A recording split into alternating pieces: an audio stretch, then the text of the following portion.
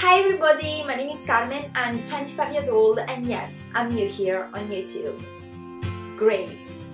I always wanted to open my own channel just to show what my passions are and you know, I, I wanted to do it my own way. I just needed to figure out one small little detail, like my biggest fear ever, be judged by other people.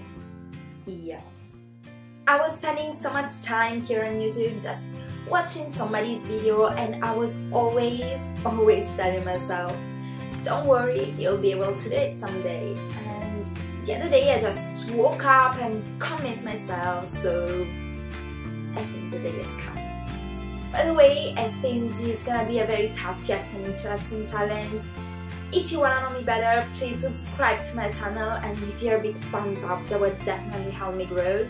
I think this is it for my first video. If you have any suggestion, please feel free to comment down below. I'll be reading every single comment. And I will see you hopefully on the next video. Bye!